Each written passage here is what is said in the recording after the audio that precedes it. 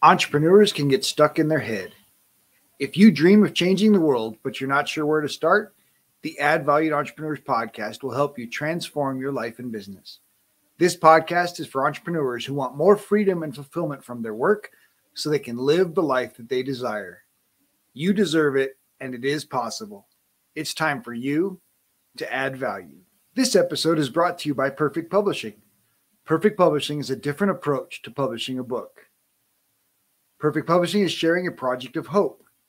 We carefully chose heroes of hope who exemplify living a life they created through faith, hope, patience, and persistence. No matter what page you open to in this mini cube of hope, you will find a leader with a big heart. You see, you are not alone. The authors may share similar challenges that only hope and action could resolve. Get your free ebook at getadoseofhope.com. Get a doseofhope.com. Just wanted to mention this episode was recorded earlier. And as our audience grows, we just wanted to share some of the value from our earlier episodes. Today's guest, Steve Reiter, is a 23 year internationally syndicated broadcasting professional. He spent 12 plus years working on the internationally syndicated radio show Focus on the Family. Steve was overseeing the production department in 2008 when Focus on the Family was inducted into the National Radio Hall of Fame. He left his award winning stint in 2010 to help spearhead Dr. James Dobson's Family Talk. Steve co founded the Eternal Leadership Podcast, which was named a top 12 podcast to listen to if you want to become a better leader by Inc. magazine. Armed with those 21 plus years of experience, he brings a unique perspective to the podcasting space. You'll get fresh ideas that work for you and someone to help positively navigate the inevitable curveballs that come your way in the execution of that vision. Most recently, he founded the nonprofit, the Never Alone Project, born out of the forced isolation his 40 year old wife had to endure when she was hospitalized in April and May of 2020. And her subsequent death after 21 days, he created the Never Alone Project to address the critical issue of the importance of advocates and loved ones in the lives of anyone facing some kind of medical appointment, procedure, stay, etc. Their goal is to codify into national law the patient's right to at least one screened visitor per day with no time limits. Please join me in this great conversation with Steve. Well, welcome, Steve. Thank you for joining me today. Thanks a lot. I really appreciate it.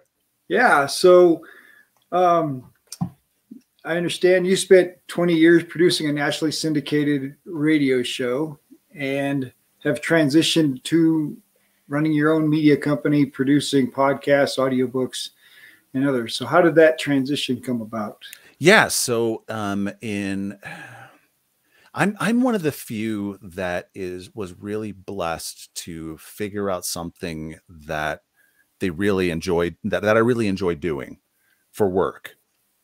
Um, when I when I went off to college, I wanted to be a cop, and the second, the first day of classes, in the afternoon, the, one of the, the instructors was like, here's all the bad things about being a cop 80% divorce rate, high alcoholism, stressful on the family. You become really cynical when it comes to dealing with people because you're dealing with, you know, the people that have massive problems and they're a massive problem to society often. And so I really came away from that and was like, ah, oh, do I really want to do this as a career? And I spent the rest of that semester really deciding no. and so I thought about okay i really love sports and i really love medicine so why not get into sports medicine athletic training physical therapy that kind of stuff?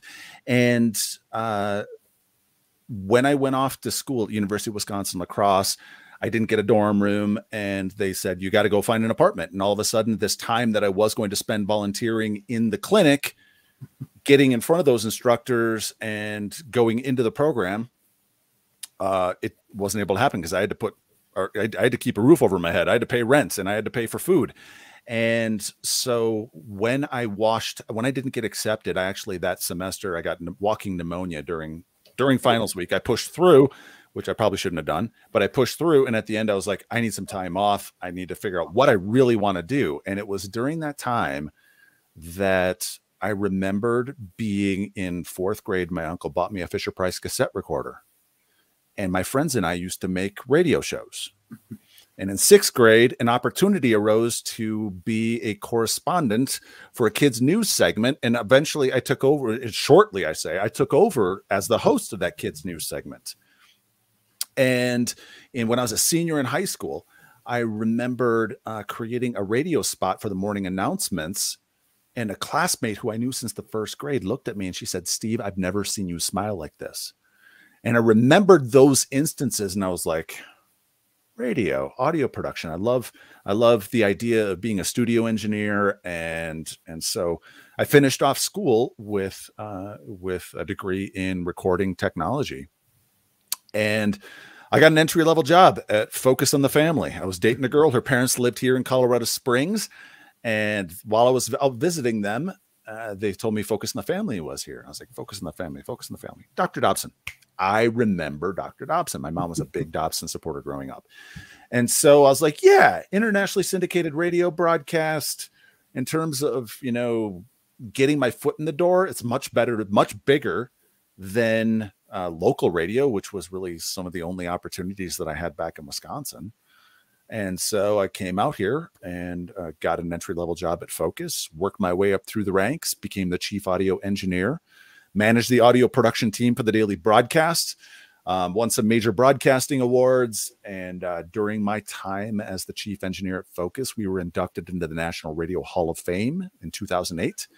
Uh, we beat out, no, yeah, it's 2008. We beat out Howard Stern and we beat out Dr. Laura and Bob Costas. And it, we were the first quote unquote religious broadcast ever inducted in the National Radio Hall of Fame. And so um, in 2009, at the end of 2009, Focus decided to finish that leadership transition. And Doc knew he wasn't done. And so um, he recorded a broadcast kind of announcing the transition was going to have an end date of February 2010. And um, he said, I'm going to pop up somewhere on radio. I don't know where, I don't know when, so keep your eyes peeled. And um, at the end of that recording, we recorded it on a Sunday, which is something we never did. And we're airing it on Monday.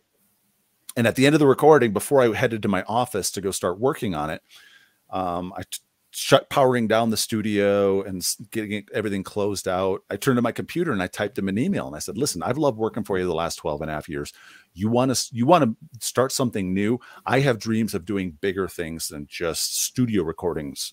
I want to get out there and I want to tell stories and I want to do some NPR style kind of stuff, which is I had done a little bit of that at Focus, but never for never for the daily broadcast. We we purposed some of that into the daily broadcast, but never explicitly for the daily broadcast.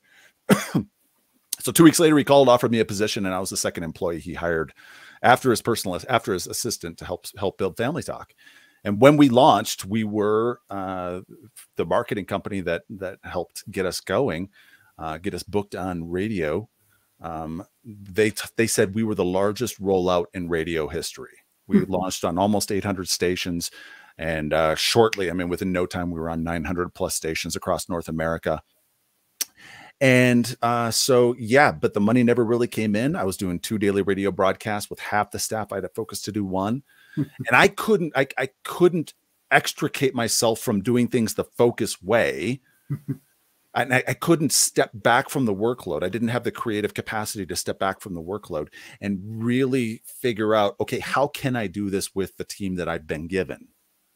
it's possible and i've figured it out since in in starting right turn media after i left so in uh, um, march of 2012 after 15 almost 15 years of working for dr dobson i turned in my resignation because my health was really starting to suffer um, I, I lost 20 pounds the last two months that i was there when i left i weighed less than when i started my senior year of high school Yikes. When, when I weighed in for football. And so it, it was something where my doctor pulled me aside my last day and he was like, You don't get this, but you have to do this.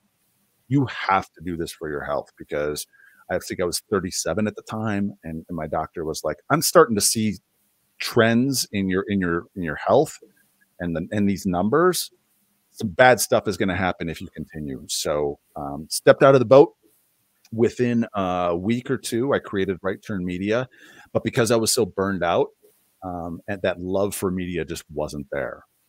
And uh, it took a while to really physically recover from that. And uh, took a couple detours and uh, got into financial advising. I was killing it that first year. and my wife got sick and uh, so I had to kind of scale back prospecting. Took some.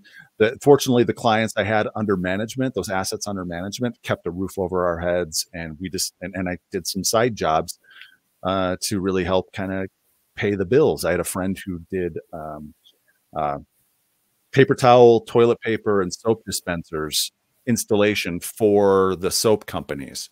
So when when a, when a school district or when a when a health complex um, a consortium would would change out and get and sign up with a new soap dispenser, paper towel dispenser company.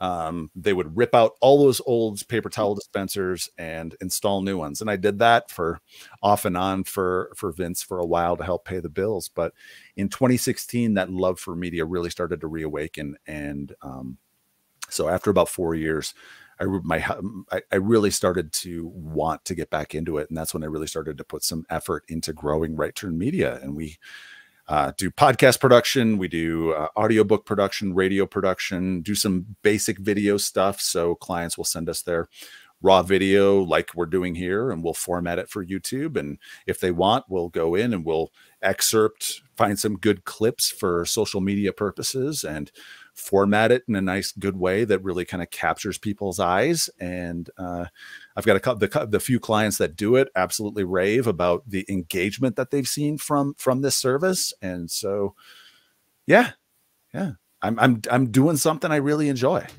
Nice. I noticed uh, you, we have a mutual friend who's using your services, Mike Kim. Yes, yeah. yeah. Mike Mike came to us for his audiobook. We we he, he doesn't use us for his podcast. He has someone that he's been using there in the in I believe in the Nashville area for his podcast, but he came to us for the audiobook. And uh, I'm I'm a huge fan of Mike. I absolutely love him. He was fun to work with on the audiobook. And uh, yeah, I, I he's a great dude, and I'm yeah. I'm, I'm I'm I'm in line to join his mastermind at some point in the next year. Once once I'm wrapped up with this current coaching program that I'm in. Nice, because he's a, he's a good dude. Absolutely.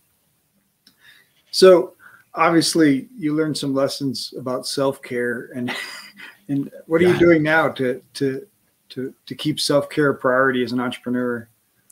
Um. Yeah. So I, I want to say it was so when I recovered from that burnout in 2012, I really wanted to prioritize my health because I realized that, you know, as as my health goes, so goes my energy levels and my I mean, I've always tried to stay in shape because both my parents are overweight and I just got a 23 and me uh test done and they said I'm pre I'm genetically predisposed to being overweight. And so I've always tried to watch my weight and always tried to stay somewhat in shape. But um I want to say it was 2014 that in my spirit during some quiet time, I would occasionally hear the word biohacking. Hmm. And um, I was like, huh, what is, what is biohacking? And so I started slowly kind of researching and finding some podcasts like Bulletproof Radio, which is now, he just, just renamed it today to, uh, um, what is it? The Human Upgrade Podcast. Hmm. I believe it, I believe is what he's calling it um, the the the def for those that don't know what biohacking is, the definition that Dave Asprey, this is a kind of a paraphrase of it, but the definition that Dave Asprey came up with is biohacking is the art and science of changing the bio changing the environment around you and inside you to have better control over your biology. Hmm. So it's all about trying to figure out how to maximize brain energy and how to how to, how to maximize your sleep because if, if you're getting garbage sleep, it affects you the entire day. And so, um, so I want to say it was back in, um, it was three years ago, probably. I got this ring called Oura, O U R A, and it's a sleep tracker, sleep and activity tracker. And um, I found it to be very accurate, or, or at least have correlations when it comes to deep sleep like like if i get really if i get really good deep sleep like if i get two hours of deep sleep but i only got like five and a half hours of actual sleep i'm doing really good because deep sleep is that cycle that uh, of that sleep cycle where you, your brain shuts down and what happens is your cerebral spinal fluid is washed your spinal column is just basically washing your brain helping to remove the toxins that have built up over the over the over a day of uh, of doing work and using your brain and so um, the waste products, all of that. And so um, when I got this Oura ring, I, I kind of figured out what I was getting for deep sleep on an average basis. And I was getting the deep sleep of an average 70 to 80 year old man. Ouch. and, and, and, it makes sense because my entire life, I never felt like I slept enough. I never felt like I, I did, I, I got enough sleep, or rarely did I ever feel like I got enough sleep. And so it, it I started this biohacking journey. There's there's a saying in the biohacking community: if you can't track it, you can't hack it. Hmm. And so I, I started to A/B test various different things, and I found two big breakthroughs when it came to my sleep. One is taping my mouth shut.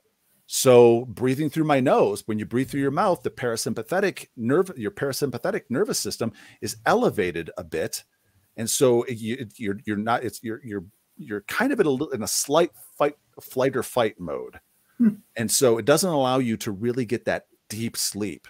And so uh, I, I, I and I got in, I found this out because um, Eliz, my late wife Elizabeth, she went to, I flew her out to Idaho to go spend uh, an extended week, almost a week with her sister. And I was used to having her oxygen condenser on. And so I fired it up. I'm like, ah, what the heck? I'll just fire it up. And since she's not using it, I'll throw on the cannula.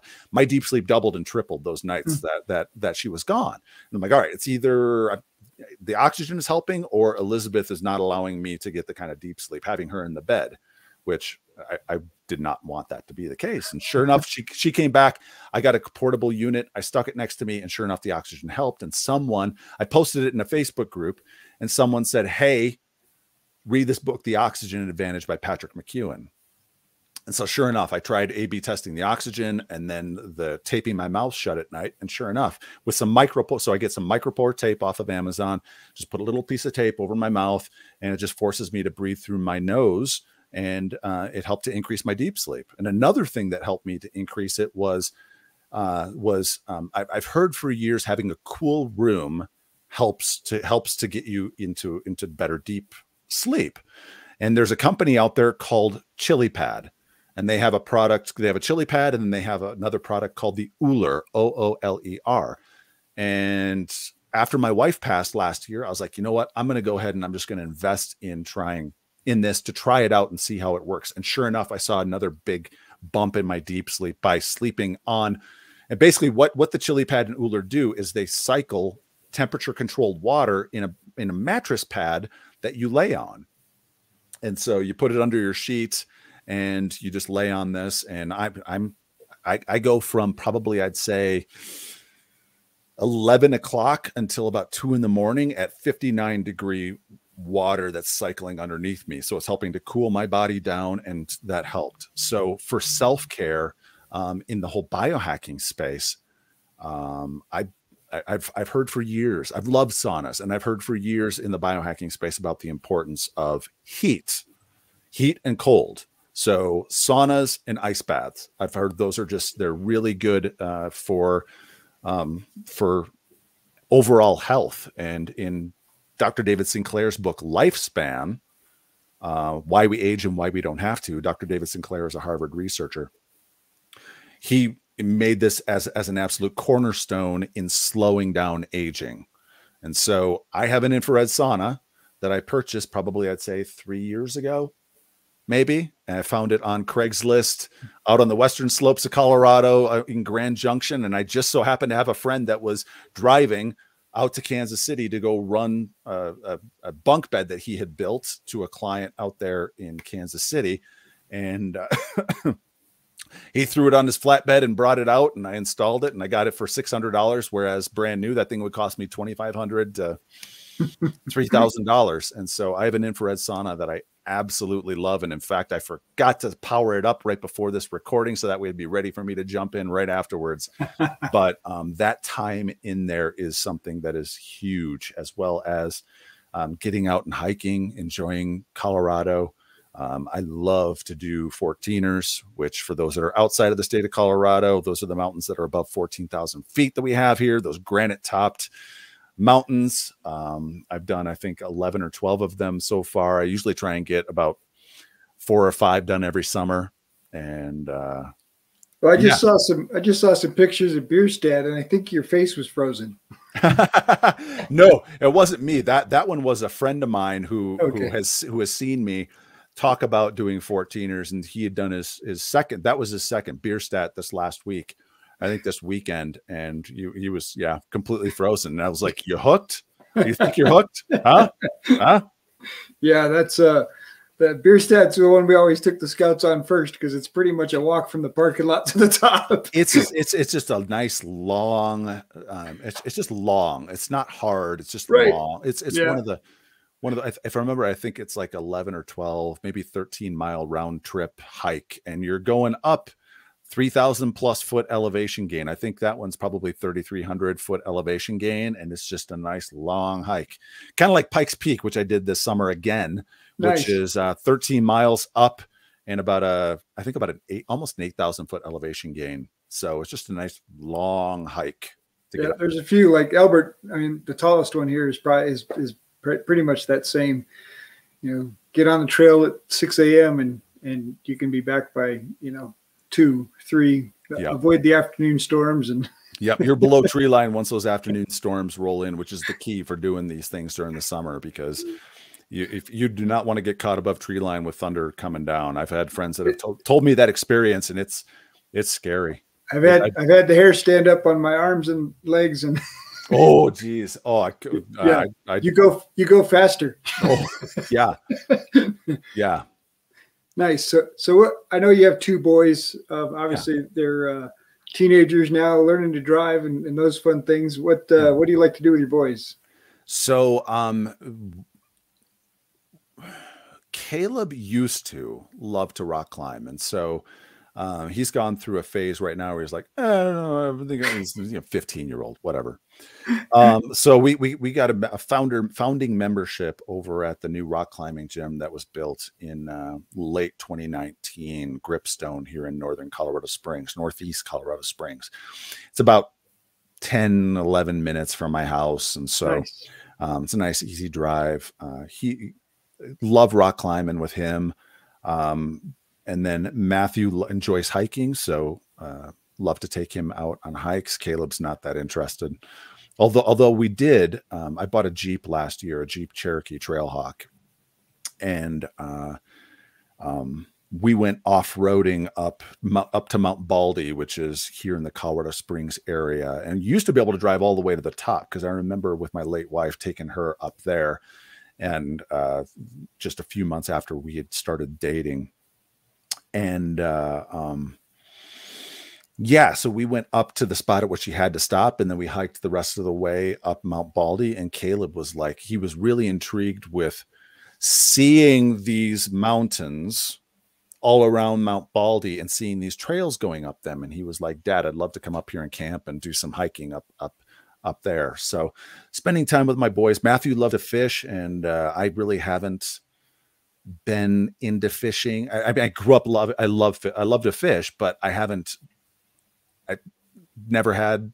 Once I moved out here, I didn't have a fishing pole, didn't have any equipment, and I've slowly been starting to get stuff and uh, looking to take Matthew out next summer, take him out fishing.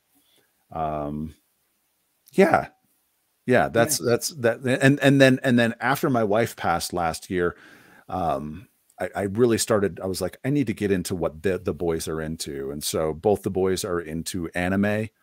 Uh, Caleb, my 15 year old's really into it, and so we have some shows that we'll watch, and um, you know, I'll, I'll, make fun of the ones that need to make fun of, and we'll we'll do our color commentary from the couch, making fun of some of the stupid stuff that happens, some of the ridiculous things they'll say, and that kind of stuff. But you know, there's there's there have been some really good, a couple really good animes that that Caleb has introduced me to that I can't wait for the next season. I'm really looking forward to. Like, there's one called Vinland Saga. It's on Amazon, and they've only got one season out. They've greenlighted uh, season two, but haven't announced when it's coming out. And it's basically about this Viking family in Iceland, and uh, it's it's pretty freaking awesome.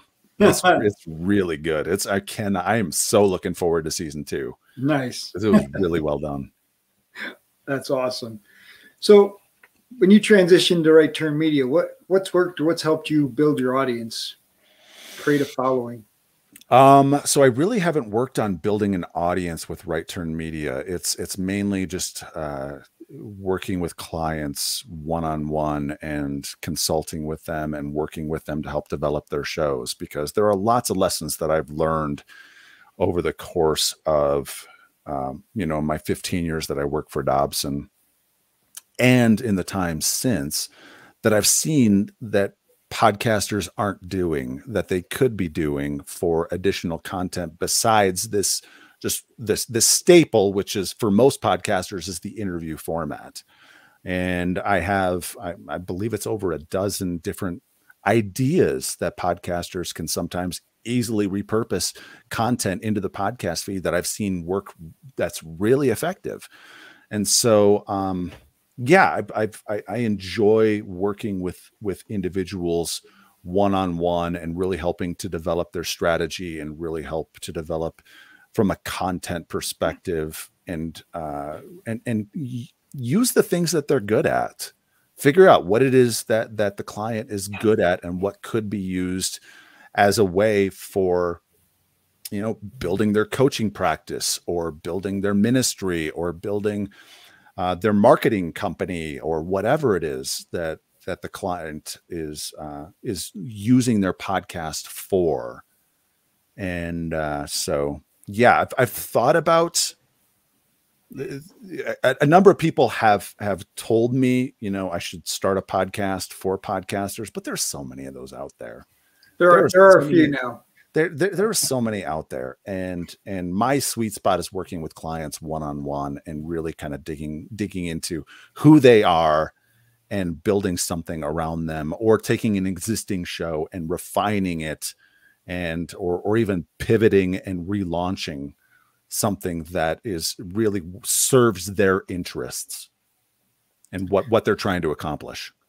Yeah i guess using the audience term for a radio guy comes off a little different. For a business person you know it's building your list building you know your clients. How, yeah. how how are you building your business? How are you finding new clients? So that is something that i'm starting to pivot and and uh, do. So um when I started in 20, when, once I really started to invest full time effort into Right Turn Media in 2016, um, I have a friend, Kevin Knebl, who eh, the guy is freaking awesome. He'd be an excellent guest for you. I absolutely love Kevin. Kevin speaks to financial advisors and realtors, but primarily financial advisors about sales. And Kevin has a system called High Tech, High Touch. And it's basically taking your contacts and dividing them up with no more than 25 in any of these three buckets at any time. So finding the best referral sources, the best clients, the best uh, people who will advocate for you, and best potential clients, and sticking them in one of three boxes A's, B's, and C's. And those A's you contact every two to four weeks. You you you set and you make it a system and the B's you contact every four to four to eight weeks, and the C's you contact every eight to twelve weeks. And you you set it on a schedule. So you decide if you want to contact them every two weeks, every three weeks, or every four weeks, and you just systematize that. Nice. And um, Kevin used to uh, uh, promote a service called refer.com. They've since shut it down. I'm really sad because the system was so good and it made it so easy that I just log into refer and I'd see who I needed to contact and who I needed to drip. And and and the key the key with this is high touch. You're you're not you're not letting them know, hey, I'm here for your services, but it's it's, developing a relationship with them. So knowing if someone's you know into Tennessee football and you know sending them either a text, a postcard, uh, email, uh, voicemail, or or if, if if they're around and if you're able to, just a drop by. And a drop by is just dropping a coffee off at their house. Hey, I, I picked up this extra coffee. You know, if, if you don't want to hand it to someone in your office, I gotta go. I gotta run. and and I I implemented that system in earnest in 2017. And in 2018, my business quintupled in size. I made my first hire, and uh, shortly after that, really shortly after that, made my second hire. Uh, two editors in uh, Caracas, Venezuela. Nice. I found them. I found them on Upwork, and uh, and both of them are still with me. One of them has used the money that I paid that I paid him to get the heck out of Venezuela and go Good to Spain.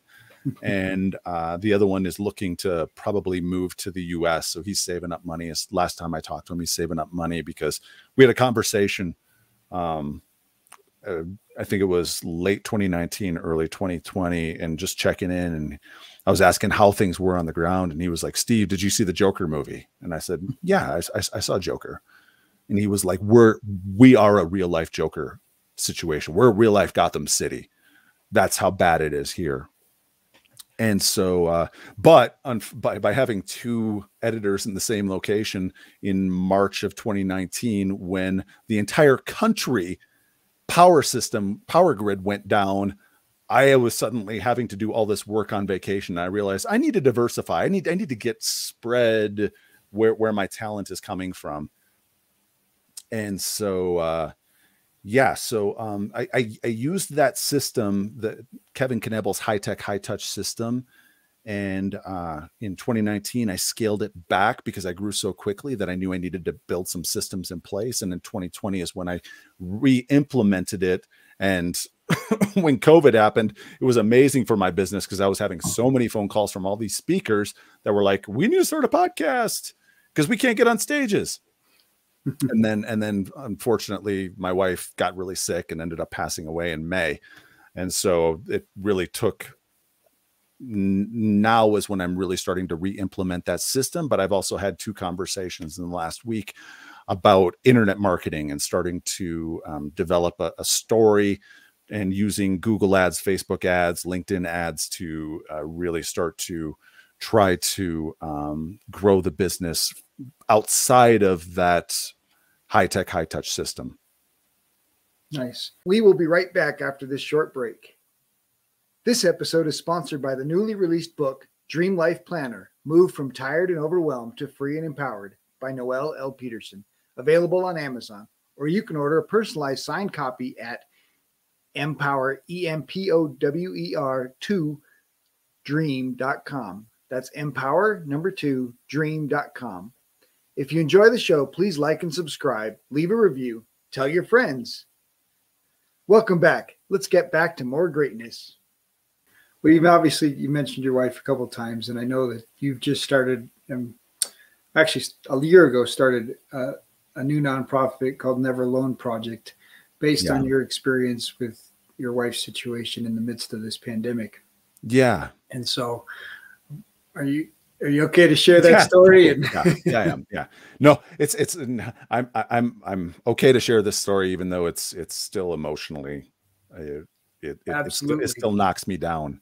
I bet. But but in order to uh, um in order to really help spread the word about the problem and really help to raise awareness, I know that I need to. Um, so right at the beginning of COVID, I mean, literally when the state shut down, my wife thought she had it. Um, she had she had a friend who her husband worked for the DoD, and both of them were exhibiting COVID symptoms. And because Elizabeth dealt with lots of health issues, mainly uh, autoimmune, lupus, and rheumatoid arthritis, although the RA was in remission. And then uh, um, in 2014, she was diagnosed with pulmonary hypertension. Um, we knew she was significantly at risk. I mean, er, she she was one of those cases where even though she was 40, um, we we knew that it was it, it, could be something very serious, and so we uh, got her tested right away. And unfortunately, it took the state two weeks to come back with the negative test, which early on because they were so inundated with with tests, the state was running it, and so. Um, so it just took a while for for us to get the results, but it came back negative. And so, uh, because of the way in which we shut down, her doctor wouldn't see her in person. She would only see her over virtual visits.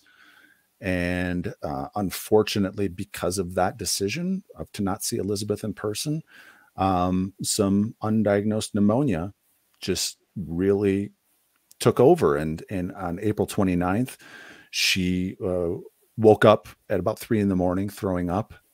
And at she wasn't even because she wasn't even able to keep a sip of Gatorade down. About two hours later, we just decided two two and a half hours later, we decided we need to call the ambulance and, and go to the hospital. And she told me that um, I, I mean she knew that she needed to, and she admitted this while she was in the hospital. She was like, I knew I needed to go to the hospital sooner, but because of the way the hospital shut down and weren't allowing visitors, she was just delaying it, delaying it, delaying it. And so it was a combination of factors that ended up hospitalizing my wife. And you can't diagnose pneumonia or sepsis over a virtual visit. You can't.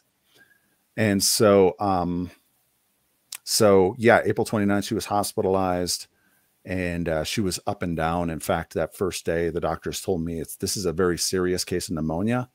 Um, but she had been in with pneumonia before, not quite this serious. And uh, so, yeah, uh, over the course of 21 days, she started to get better. And then um, uh, two days before Mother's Day, we were going to the airport to go pick up my mom, who was coming out to go help watch the boys. Because of the way in which they shut down, they weren't allowing any visitors at the University of Colorado Hospital, the Anschutz campus there in Aurora. And so I was starting to get some media about this plight of people being forced into forced isolation. And because loneliness kills, loneliness increases mortality by, depending on the study, anywhere from 26 to 50%. Because the AARP did a study about loneliness and they equated loneliness to smoking 15 cigarettes a day.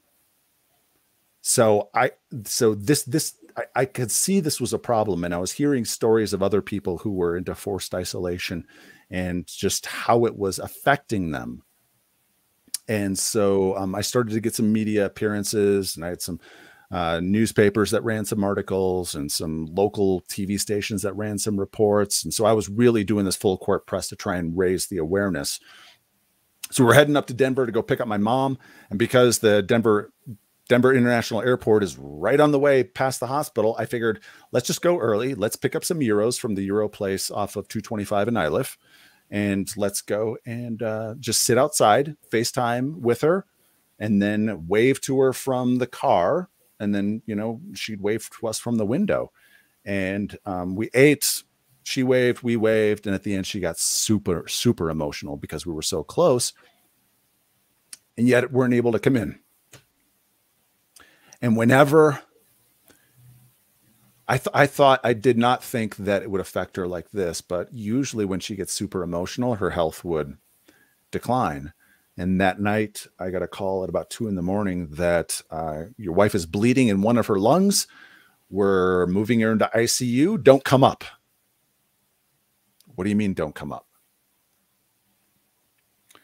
Um, I got a call again at 5:30 saying that uh, we've stabilized it, we've isolated it, we're cauterizing those two small arteries. Don't come up. And uh, so, because she had been on blood thinners with the pulmonary hypertension since 2014, um, they had to give her a coagulant in order to stop the bleeding, to get it to stop, which presented a significant blood clot risk. And they were scanning her like crazy over those next days and she slowly started to get better. And uh, um, she was set to come home on, uh, on she called me on or texted me i think on may 18th saying they're they're definitely going to be sending me home this week.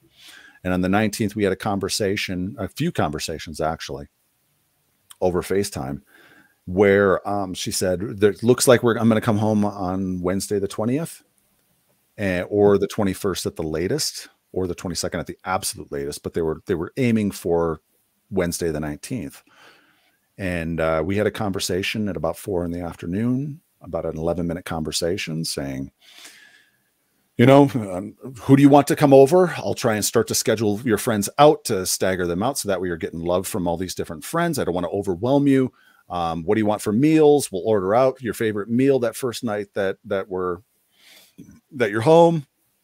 Your mom's going to come over on this day and rub your lower back because she had been complaining about lower back pain that last week and a half that she was there in the hospital. Um, just kind of getting all of those details started to get the get get things in motion to to get her the kind of attention and love that um, the hospital had stolen from her those three weeks that she was there. Half hour later, I got a call. Your wife's gone into cardiac arrest. You need to get up here now. I jumped in the car. Actually, I, I jumped up, looked at the boys. I said, start praying. And my mom, and I said, start praying. Your mother's gone into cardiac arrest.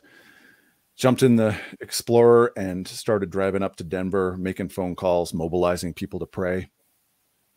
letting some of her family know that it was really serious and she might not make it. 20 minutes into the drive, I called the hospital and they said they were still doing chest compressions. And I knew at that point I wasn't going to make it because it's an hour and a half drive for me to get up there. Called again once I start, once I hit IKEA right, right south of the Denver Tech Center yeah, there on I 25 as I was coming into Denver. And uh, her doctor, Dr. Bull, told me she didn't make it. And so, in the time since, I have heard of so many people that have been into some kind of forced isolation and the trauma that that it it poses on families. Uh, the trauma of a mom giving birth without her husband or partner or mom or support person there. The trauma on the dad of not being able to be there um, the trauma of not being able to say goodbye to your loved one. In fact, that night when I finally got home and I told the boys, Caleb immediately jumped up and he was like, I got to go ride my bike. And you see, he jumped up and he went off on a bike ride. Matthew just sat and sat and sat and sat and sat on the couch. And after about 15 minutes, I sat next to him. I put my arm around him and I tapped his chest. I said, What's going on there, bud? He said, Daddy, I'm equal parts sad, equal parts pissed because the last three weeks of my mama's life were stolen from me. It's wrong. It's wrong. We can balance protecting the needs of the protecting doctors, nurses, and the staff, but also give the individuals what they need and not let them rot on the vine like what happened. It's clear that there was some pardon my French, there was some shitty planning that went into this because we didn't see this coming with SARS. We didn't see this coming with bird flu, swine flu, all the other quote unquote expected pandemics that that you know we were told could you know be that next Spanish flu that wipes out a large chunk of the population. Why didn't we have the protective equipment in place? Why didn't we have stockpiles of personal protective equipment so that way families could still allow, or the hospitals could still allow one, at least one screened visitor per day, no time limits? And that's all we're asking for in legislation. One screened visitor per day, no time limits at least have that right enshrined so that way when someone goes to a chemo th- treatment when someone goes to the er when someone goes to the hospital when someone's staying at the hospital when someone's giving birth that way they can at least have one person there because i referenced my late wife elizabeth uh, complaining about her lower back hurting that last week and a half. It was kidney stones. It was kidney stones. If we had been in there and we had been rubbing her back and we had been giving her that love and attention. We would have been able to ask the doctors, okay, and the nurses, hey, we're rubbing her lower back. It's still hurting. What could this be? It was unnecessary pain that my late wife went through, that Elizabeth went through, unnecessarily because of the way in which we shut down. And there needs to be change. There needs to be a, a community that rallies around this idea that we're sharing our stories and we're saying, we need change. And fortunately, we have three states that have passed no patient left alone bills Oklahoma, Arkansas, and now North Carolina. Nice. North Carolina just passed one. But unfortunately, here in Colorado, sadly, I, am I'm, I'm unaffiliated, so I don't have a horse in this race. I look at both sides with a very wary eye. Right. I really do. If you think either one of them are on your side, you're probably fooling yourself. Exactly. Exactly. For me, I, I just I just know obviously I, I spent time as a pastor and and and obviously chaplain visits, pastor visits, um, the ability to visit somebody and the power of of that short visitation. Um, but I think the bigger piece you just mentioned with your wife and and having these other symptoms that didn't get talked about. Um, every patient needs an advocate. They're on drugs. They're on all this stuff their body is fighting to survive and yes. and they need somebody else in the room that can say um, what drug is that? Didn't you just give that a little bit ago? Or what what are what are we treating now? Or hey she's got this pain that she hasn't mentioned to anybody else. But and so an advocate my i know from from personal experience how important an advocate can be for a patient that is unaware of you know of what's going on and so that alone, whether regardless of the love and family member side of it. Yeah. yeah. No, and the other the other half of that equation is also the love and care and support. Because when my wife went into the hospital in 2014, November 2014, she went in with some undiagnosed pulmonary hypertension that raged over the course of six months. Hmm. So in 2013, she had a big lupus flare up that the doctors were like, even though they, they, because the lupus showed the blood markers showed that the lupus was in remission they were, thought it was hormonal they thought it was this they thought it was that they were trying different things and she kept declining and when she went into anschutz in february or march of 2014 she spent two weeks there because she had wasted away to 86 pounds. She wasn't eating she was I, I, she was basically bedridden. I had to help get her out of bed i had to help get her dressed i had to help get her into the bathroom had to help get her into the shower those kinds of things. So when she went in in that spring, that late winter, early spring, they were like, even though the lupus looks like it's in remission, we're just going to treat it like lupus and see what happens. And within six hours, she was getting up by herself, going to the bathroom by herself, and she had such a dramatic turnaround that the chest pain that she had been complaining about ever since she gave birth to Matthew, it turns out that it wasn't the lupus attacking the pericardial sac, which it may have still been because the pericardial sac had shown some scarifications in the autopsy. But the chest pain really was pulmonary hypertension, which is, for those that don't know, it's the blood pressure between the heart and lungs. So when your heart is pushing blood into the lungs, the lungs aren't accepting enough blood that the heart is trying to push in. So that back pressure causes that right side of the heart to enlarge. Now, the good thing is once you get that under control, the heart can go back. But when she went in in November of 2014, it was significantly enlarged and failing congestively. And the doctors told me, Steve, this is an end of life situation. We were in there 24 7, praying over her, speaking words of life over her, casting a vision, rubbing her feet, giving her the encouragement, the moral support that she needed there in the hospital to be able to pull out of that. Now, unfortunately, when she was diagnosed, the head of pulmonary came to me and he told me, Steve, I don't want to be the bearer of bad news but there's a very real possibility your wife won't be around Just your youngest graduate high school. Hmm. It's a terminal disease, and it's gonna get you un- unless there's a major medical breakthrough, which which we're we're on the verge of some really cool stuff happening to really give these young women who develop pulmonary hypertension in their 20s and 30s and 40s a real hope of having a full life. And that was my hope with Elizabeth was to just keep keep her around long enough. And he he, he said the reason that that that she couldn't might not be around was because one, the Hickman line that's going into her chest that was pumping in meds 24 7 um, pre- presents a, an infection risk. And he said usually patients have one infection a year. Well, I, I took that very seriously.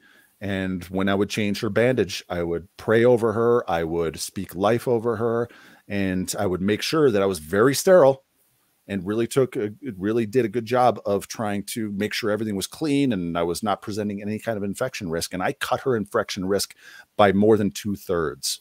This was only when she was hospitalized. That was only her second infection, and since she was diagnosed, second. Nice. When most when most patients would would deal with one, and so that that other aspect of having people in the hospital not only advocating but also supporting holding their hand speaking life over them praying over them casting a vision. I got a call i got it actually it was a facebook message from a friend of mine who who moved into nursing and she was a relatively new nurse and she worked at a hospital works still at a hospital here in town. And she told me the story. She said steve I've seen the power of having someone there because before they were letting patient let, letting visitors in at this hospital, she said we had a patient who didn't look like she was going to make it through the night. And we called the doctor, we called the daughter and we snuck her in. And mom rebounded. That morning she got so much better that within days she was sent home. So here you go, a woman who's on her deathbed that they're bringing the daughter in to be able to be with her to likely say goodbye. And all of a sudden she rebounds and turns around and has has you know the the will to live because her daughter is there. Isolation kills and we need to have that legislation in place to be able to protect that patient's right to at least one screened visitor per day, no time limits. Well, and, and the challenge is that obviously the state advocated in the beginning these different rules, and and shutdown rules. But then each hospital system at, at, a certain point has the freedom to determine their own interpretation of of that.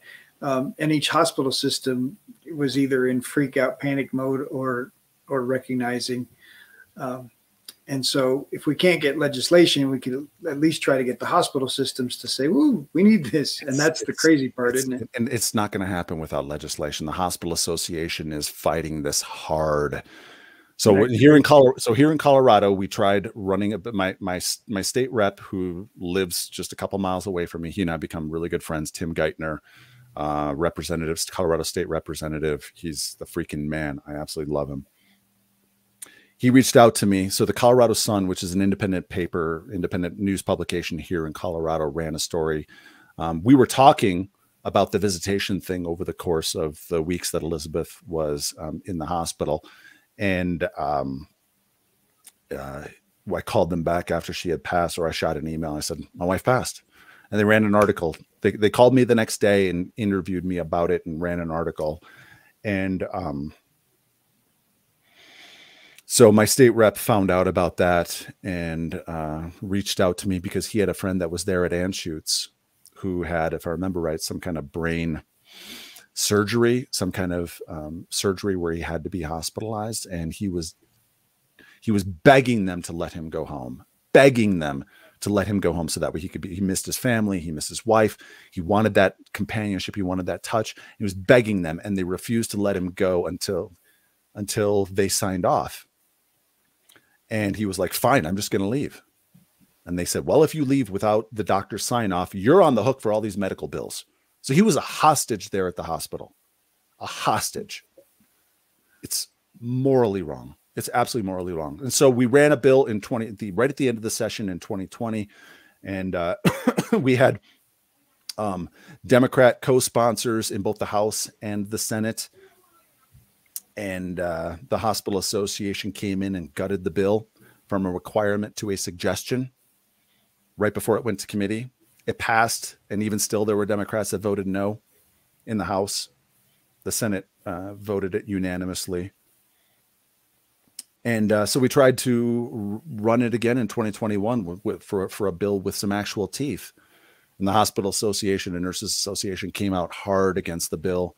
And uh, it never made it through committee because no Democrat went over to our side and uh, sided with us. And so the hospitals will never will, will will never they they have their they don't want anyone telling them what they have to do because it's going to cost them money to let visitors in in the middle of a pandemic. It, and and and it also they there there there's also the added aspect of they're fearful of of uh, lawsuits you know a visitor comes in with covid and passes it on to someone else and all of a sudden the hospital is liable that this patient who otherwise was doing fine suddenly gets that pandemic disease. And so we we want we want to protect hospitals from those lawsuits while also give, giving the individual eh, balance. Like I said, balance that need to protect the doctors and nurses and staff while also giving the individual that that such important personal touch and care and love and what they need in order to make it out. Because if the if if, if the whole pur- purpose of a hospital is to heal people, is to heal people, why are they doing something that increases mortality by 26 to 50 percent? Why are they doing that? It doesn't make any sense. It does not. So so now um, the Never Alone project, where where where does it stand now? What's what's uh so um, I, I announced it last summer, and uh, we submitted the paperwork to the IRS, only to have it rejected because they're not taking paperwork, and they didn't say that. And so we had to resubmit it. There was a transmission error in that, and when we resubmitted it one more time, they now have it. We're hopefully we're we're less than a month away from having our final IRS approval. Um, I can raise funds right now. Um, but frankly, to be honest, I, I haven't had the brain energy or capacity to really put any effort into it. When you go through this this kind of a thing, I'm sure you've seen it as as a former pastor. When someone goes through losing a spouse or a kid, that cortisol spike, that stress response is so elevated that it actually damages your brain. And and it can it's it's it, it, it produces this pervasive brain fog that's that's referred to often as widow's fog. And it's it, and it can last two plus years to to really fully recover from that. In may i was just finally at the one year anniversary i was sick of it. I was done. I was like i need to get back to work. I need to get back to growing right turn media. I need to start turning my attention to the never alone project. I need to be doing this stuff. And so um, yeah, I saw I saw a functional medicine doctor. I'm seeing a functional medicine doctor up in Greenwood Village, which is South Denver, Denver Tech Center area for those listeners that aren't familiar with the Denver area. And uh, he's he's dealing with some cutting edge stuff like peptides. Like some of these biohacker podcasts, they're talking about peptides. Peptides are basically signaling molecules. So they're a they're a chain of amino acids that's that's not a full protein. And what it's doing is it's signaling to the body to produce something or or signaling to the body or it's or it's a um, it's a hormone uh, trigger hormone replacement that kind of stuff. And so he gave me $2000 i bought $2000 worth of peptides and boom it felt like i was back. And i scaled it back and the brain fog started coming back. And but i've, I've been on a nice nice steady pace with uh, some neuro regenerative peptides as well as some uh, um, some things to help lower inflammation, um, those kinds of things. And I've got I just bought from another company a bunch of different other peptides to help with various things. And so I really finally feel like I've got the the brain energy and um, the the desire to start moving forward with this as well as getting back out there and prospecting and starting to take a look at you know a digital marketing strategy for right turn media as well as never alone and start to kind of think about those things. And so that that's really where it stands. I'm starting now to really get out there and try and start to fundraise and bring in some some funds. I'm not planning on taking a salary from this. I want Right Turn Media to pay my bills. I want to be working part time on Right Turn Media, and so that way I can be working the rest of the time on Never Alone. And so we want to hire a virtual assistant. We want to hire a PR person because either part time or full time because this isn't just about my story no. There are so many people that have that have dealt with some sort of a lone situation, whether it's chemo, giving birth, hospital stays, being kept away from loved ones, long-term care and nursing homes. My God, how many people have died? Their their how many people their their death was accelerated because of the loneliness. I mean, I rem, I remember seeing a video that someone shared of being outside the window of their mom and their mom clearly had dementia and she was just she was weeping. Why aren't you here? Why can't i touch you? Why can't why why? I want to it's, inhuman. Dr um, i believe his name is Zubin Damania. Z-dog md on on on on social media and instagram and youtube. ZDoggMD he had a guest on and they talked about this issue of people dying alone and they called it a human rights issue from from a doctor's perspective. They called it this a human rights issue and that's exactly what it is. Oh absolutely. social creatures. We are social creatures and we need that love and we need that attention and we need that care. And so um so yeah so i'm now starting to uh um, look at look at trying to mobilize a community and fight, figure out who the good storytellers are, who have compelling stories, and get us all booked on podcasts, get us all booked on media outlets and news, and talk about this to help raise the awareness. Then also a social media person, uh, because uh, really, in order to really get this thing going, we're going to need a strong social media presence. And then finally, the last thing that likely will happen if if I get a big donor for this idea or a couple big donors for this idea is to hire a ghostwriter and get a book put together for by the Never Alone Project. So that way we can what went wrong, we can, we can present the story of what went wrong, this how this impacted people, the various stories, and then a plan moving forward. Because we, we we we need to present a comprehensive plan because this was a failure at so many levels. It wasn't just the medical community that failed government failed. They clearly didn't plan this out because we used to have stockpiles of personal protective equipment. Why did that stop? hmm? Why did that stop? The risk has always been there. Why, why, why did that go away? because if those stockpiles had been in place, hospitals would have been able to would, would have had incentive would, would have had this okay we're not worried about personal protective equipment we just need to make sure that we're you know screening people properly and letting letting some people in and then also it was it was a failure on industry american industry i mean you anyone can go back to march april may of 2020 and there was a real concern about ventilators and there was a real concern about ppe and there was a real concern about all of these things that we had offshored vaccinations. So much of that had been offshored to China that we were that it took a while for us to to really bring a lot of that stuff back and get get ourselves ramped up to be able to build the ventilators and the hand sanitizer and all of that stuff that we had offshored. And so we really need those three areas to come together and and develop and we need to develop a comprehensive plan.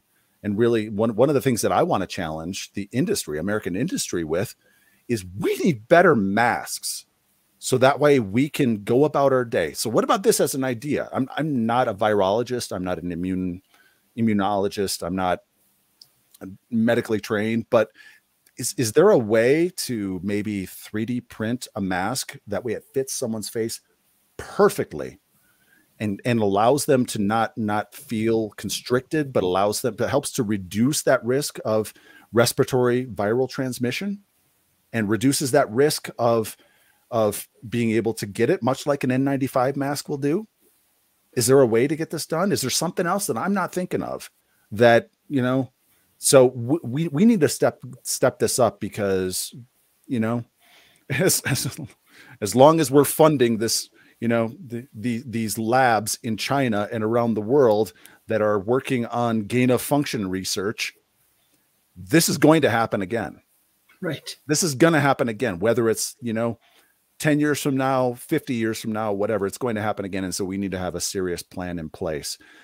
And uh, I've, I've, I've had some people come back to me and say, um, well, I mean, COVID's going to go away eventually. And so there's really no need for this legislation. Uh, but I talked with a, a uh, pathologist who works in uh, the Tampa St. Pete area. She had heard me on, on the Babylon Bee podcast and uh, she called me and, and we had a we had a couple of really good conversations and he said she said steve there has to be legislation because some administrators and some doctors have fallen in love with these visitor restrictions because hospitals are saving money on sanitizer toilet paper the costs associated with having visitors in and some doctors are falling in love with this because they're getting their rounds done so much faster because there's no advocate there to ask questions and dig in and and figure this out. And she said, "This is going to pop up, pop back up. They're going to restrict visitors even the next flu season." And so this is the goal. This is what we're trying to do. We're trying to raise awareness, mobilize the community, heal together, and get legislation in place regis- the legislative and regulatory change needed to enshrine a patient's right to at least one screened visitor per day, no time limits. Hmm. Because there are hospitals that are allowing one visitor per day, one hour at a time. That's it. One hour per day. That's all they're allowed in. And it's it's absolutely they can change their policies at the drop of a hat. They can do whatever they want. And there needs to be some sort of if this is indeed as ZDoggMD says this is a human rights issue. We need to have that human right enshrined in law. I absolutely agree with you, and I hope our listeners, you know, willing to share their stories and experiences. Obviously, um, I've had a couple of my own. My my uh, my dad had COVID and was hospitalized for eight days and was isolated and and miserable and had no they didn't even have contact with nurses because it was far enough along into COVID. They weren't. They're like we're not going in there. We have to put on all the PPE and all that stuff to go in his room, and so he he mm-hmm. was I, completely isolated, um, and and until he got grumpy enough, they finally just let him go because because he wasn't going to get any better in the hospital. Um, thankfully, he never needed a vent or never needed much more than a little bit of oxygen. Um, he needed help controlling his cough. Um, but my mother is in a memory care facility, and she knew who I was before COVID, and now she doesn't because we spent eight months that I couldn't go see her at all. It's horrible. It's um, horrible. It's inhuman. So, absolutely. So now I can still visit, and and but she doesn't know me, so it's it's almost it's more heartbreaking. Um, so yes, I I definitely understand, and I'm sorry for your loss, for your Thank boys' you. loss. I'm Thank glad you. that you're able to step in and and focus on them and be their dad and, and do things with your boys. And I hope that can continue for you. Thank you. And I hope that uh, the Never Alone project continues to get traction and uh, continues to to make a statement state by state yeah. until until you get you know all 50 states the, say, the, the, the, idea is national i mean here, here in colorado our only course of option as long as the democrats as long as the democrats are in the pocket of the hospital association the only hope we have is a, a ballot initiative. And those cost four to five hundred thousand dollars just to get on the ballot. We need the pot guys to pay for it and that's that's not including the the advertising that we would need to do in order to counter the misinformation and the deep pockets that the hospital association and the nurses association have in order to in in order to spread misinformation about what we're trying to do. It's crazy so, that the cost savings the cost savings can't be that great compared to the cost of care for somebody that's that's dying because they're alone and isolated I mean, I think the evidence at some point, the science is going to prove that, that it's more cost effective to help people live than it is to prolong their their death and misery by isolation. Yeah. So I'm having some conversations with uh, some lawmakers in DC to kind of start to see what the chances are of getting this done, and uh, um, with with the current House and Senate and President situation, um, because it's all Democrat right now. Um, but yeah, we're, we're, we're taking a look at all of our options, and just continuing to try and move forward because um, this needs to change. Yeah. Well, if you get enough voices supporting you, then it'll it'll take on a life of its yeah. own and yeah, get some more power. So, Steve, thank you so much for sharing. Appreciate your time, and uh, we'll continue to uh, hopefully spread the word. I really, really appreciate that. Thanks for having me on. Absolutely. If you enjoyed the show, please like, subscribe, or leave a review. We have a free gift for you at addvaluemindset.com. That's addvaluemindset.com. We've collected some of the best mindset secrets shared by successful entrepreneurs on our podcast, and we want to give them to you for free. addvaluemindset.com. In our next episode, Mark Savant and Robert talk about the power of podcasting in creating relationships, growing businesses, and generating additional streams of revenue. Podcasts are a great platform for sharing stories and helping others through the power of story.